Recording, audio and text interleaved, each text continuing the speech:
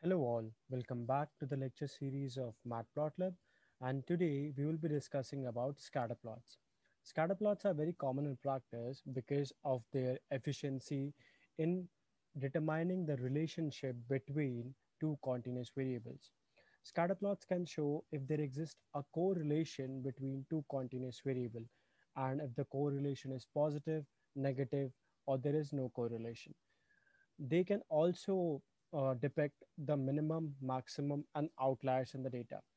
We will be discussing different types of scatter plots by customizing them, and we'll be also discussing the modification of scatter plots, which is called bubble plots. So let's move forward. I have imported pandas and numpy, and the, the way we import matplotlib is import matplotlib.pyplot as PLT. I have created some list of colors and the data itself and we will be uh, starting with this data and then we'll move to a CSV file. Okay, so how do we plot a scatter plot? So plotting a scatter plot is the same as calling plt.scatter x comma y and then we call plt.show. Okay, so here is my scatter plot. Now let's just customize it. Let's just customize it. I'm going to create a new scatter plot for every customization I make into the scatter plot. So let's say, first of all, let's label the axis, how we label the axis. plt.x label is for the x, x axis and plt.y label, let's say y. And then we have our axis label. Okay. So let's say I want to change the color. The default color of matplotlib is blue. Let's say I want to change the color of with my own choice. So I have a list of colors, hex underscore color, and uh, you can, I, I will slice any of the color I want. So how can I do that? So the color, uh, we can change the color with the help of color parameter. Color is equals to hex underscore color. And then I pass four. So basically that way you can uh, change the color. So let's just say now these dots you're seeing, basically these are the data points x comma y in the form of x comma y. Let's say you want to increase the size of these dots. These dots are basically called markers. So let's just increase the size of these markers. So how to increase the size of this markers? We, go, we are going to use a parameter, s parameter, and then I'm going to pass an integer value, let's say 100. So as you can see, the dots are increased now. The dots are increased you can you can pass any value you want but the larger value you pass the, the larger the circles will be. So now let's say we customize these markers as well. So i'm going to put a edge color on these markers and i'm going to reduce the transparency of these markers. So how do we do that? In order to add a edge color add an edge color to the uh, to the markers we use edge color parameter and then I'm going to put the edge color as black. And then to reduce the transparency of the markers, we can do alpha. Alpha is the parameter which uh, controls the transparency, zero being more, uh, zero being proper transparent and one being opaque. So I'm going to do seven. So it 0.7, it is 70% transparent. So as you can see, I have reduced the transparency and I've added the edge color. Now it's look pretty much uh, presentable. So what all we can do with scatter plots? Let's just say I want to introduce a third variable in my scatter plots with the help of colors. So I'm going to color my markers. I'm going to color my markers uh, on the basis of a third variable. Before moving on to that, let's let me tell you there are different kinds of markers you can choose.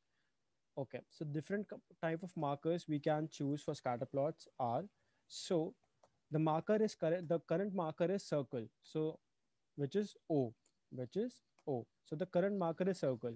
Let's say you want a plus marker. So you just write plus over here and then you will have plus marker. Now let's let's just say you want a marker with the shape of a diamond. So you write capital d.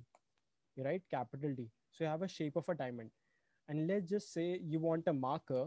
Let's just say you want a marker with upper triangle so you write the caret sign, the caret sign. So you will have the upper triangle. Now, if you want lower triangle, let's just say you want lower triangle now. So for that, you can also do, uh, you can pass V. You can pass V. So you will have the lower triangle. Now, let's just say you want a star marker. So it is as simple as saying uh, marker is equals to star. So we'll have star marker. So that way you can have many different markers.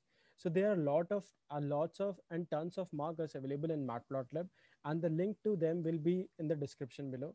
And the data I will be using in this video, it will be also be available in the description with the notebook. So that's how we can actually arrange the markers. Now let's just say, let's just move to the CSV file now. So let me just import that CSV file. Let me just import that CSV file over here. So I'm going to run it. So auto.head, I'm going to see the first five rows. So I have these CSV file. So let's just say I want to see the relationship if there is a positive correlation between MPG and displacement. MPG stands for miles per gallon. So let's just say I want to see the correlation or basically any uh, basically a trend. So how do we do that? plt.scatter, plt.scatter. Uh, there are two ways we can do this. Auto, you can slice the column like this. Auto MPG, then auto displacement. And uh, then you have to label the axes. plt.x label is MPG plt dot y label is displacement and then we do plt dot show. Then we do plt dot show. Okay i spelled it wrong. Okay now. So as you can see as you can see the dots are going downwards. As you can see as the mpg miles per gallon increases the displacement decreases. As miles per gallon decrease increases displacement decreases. So it is a perfect example of negative correlation. It is a perfect example of negative correlation. Now let's customize this plot as well. So I want the edge color, edge color to be, let's say K. And uh, then what I want, I want the color to be hex underscore color. Let's just say I want the color two. So I have added the edge, edge color. I have added the color as well. So now let's just, I was talking about incorporating a third variable. So let's just say I want to increase, I want to change the size of the dots of the markers. I want to change the size of the markers on the basis of a third variable, on the basis of a third variable. So what we can do, I'm going to pass acceleration. I'm going to use acceleration as my third variable. And on the basis of acceleration, I'm going to change the size of the markers. So how do we do that? There is a parameter S and we, we pass the acceleration column into this parameter, into this parameter. So as you can see, where acceleration is low, the dots are very small and the where acceleration is large, the dots are quite uh, larger as comparatively larger. You can also control the size of these. Let's just say the minimum, you want to change the minimum size and the maximum size. You can, pa uh, you can pass a range. Sizes is equals to, I'm going to pass a tuple 50 to 200. So the minimum size of the marker will be 50 and the maximum size will be 200. And accordingly, it will change. So as you can see now, this is known as a bubble plot. This is a modification of scatter plot and this is known as bubble plot. So basically, uh, what is happening over here, the dots, there are three variables in this scatter plot. One is MPG, one is displacement, and one is acceleration. So basically, what is acceleration showing? Accelerations, uh, the size of the dots are showing the acceleration. Size of the dots are showing the acceleration. Smaller dots corresponds to uh, lower acceleration and larger dots corresponds to larger acceleration. Now, let's just say you want to incorporate another variable on the basis of color on the basis of color. So uh, we can pass a list of colors. We can pass a list of uh, uh, sorry we can pass a sequence of colors. We can pass a sequence of colors. And one more thing, guys, uh, the S input, the input which we will give to the S parameter should be equal to should be equal in length in terms of x and y. Should be equal in length in terms of x and y. And the same goes for color. The same goes for color parameter. That is the new parameter which is c.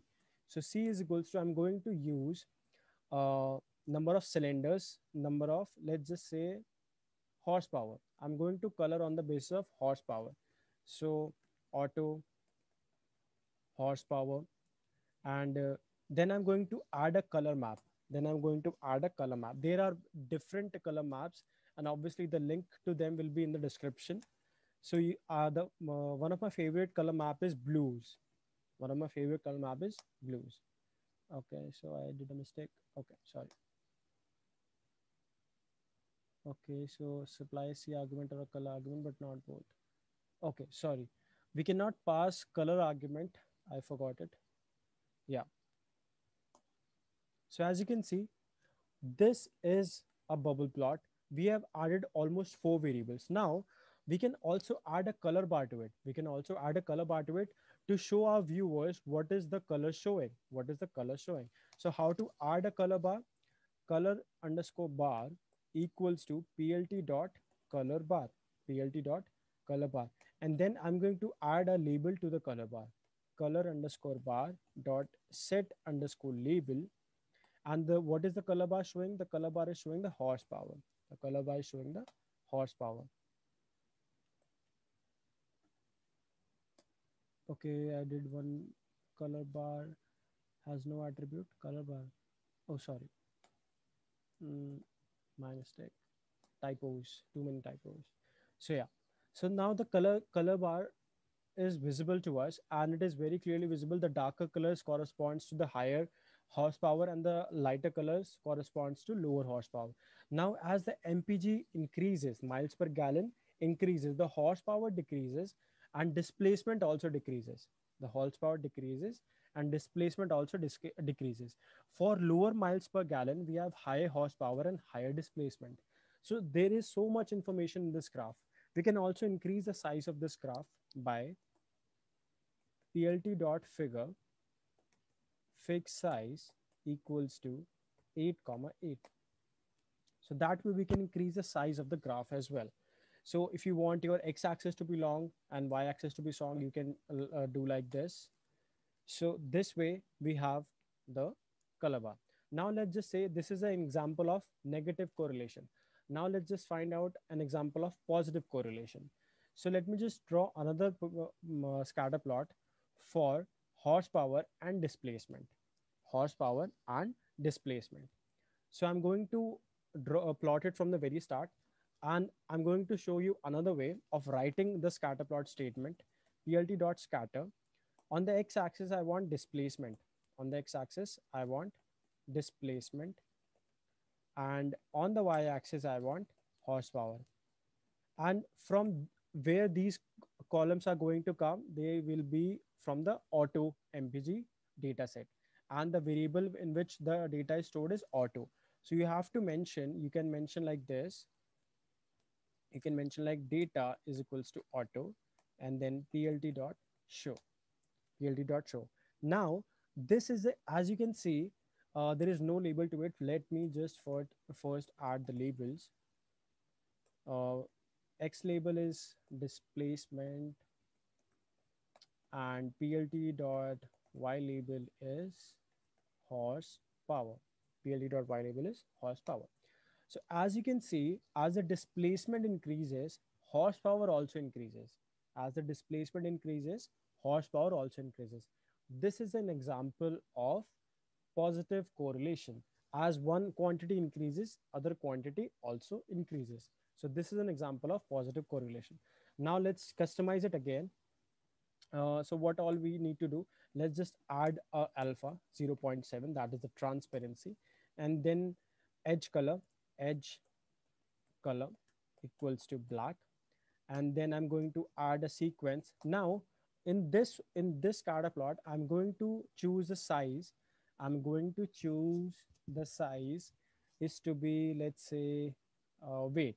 I'm going to change the size of the markers on the basis of weight column. And now you have mentioned data equals to auto. So you just have to write the column name and sizes. Obviously you have to mention uh, the lower bound and the upper bound. The lower bound is basically the ranges 50 to 200. So as you can see, again, we have arranged the size of the bubbles on the basis of weight. And let's just add now uh, another color bar. Let's just add another color bar. So how do you add a color bar? Let's just say we can add a color bar on the basis of, um, so let's just say MPG, miles per gallon, miles per gallon. C equals to MPG, and then we add a color map. Now, there is another color map uh, you can use, which is basically reds. So you write reds. Yeah.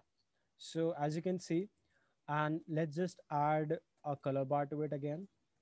Color underscore bar equals to plt dot color bar. And then we give a label to our color bar so that we know what it is showing set underscore label uh, and it is showing mpg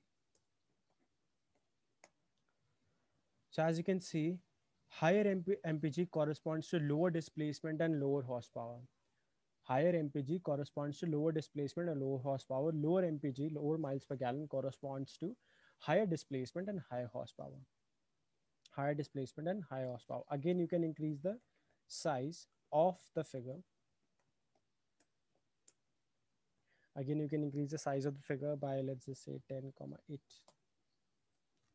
So this way you can draw different type of scatter plots. So what all we understood in this video, we have understood what are the different type of markers we can use, what are the different type of customization we can do with the scatter plots, and what is a color bar, and how we can actually incorporate uh, the size of the markers, how we can change the size of the markers on the third variable, how we can actually change the size of the, um, uh, sorry, color of the markers on the basis of another variable.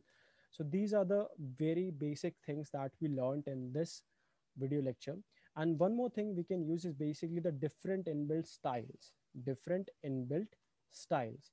So basically in order to see what all styles are available in Matplotlib, you can just type plt dot style dot available plt dot style dot available so as you can see these are the uh, inbuilt styles which are available and in order to use any of these style you have to write plt dot style dot use and then you have to pass any of the name let's just say I pass seaborn and then you sh shift enter so the moment i run these graphs now the style will be Seaborn.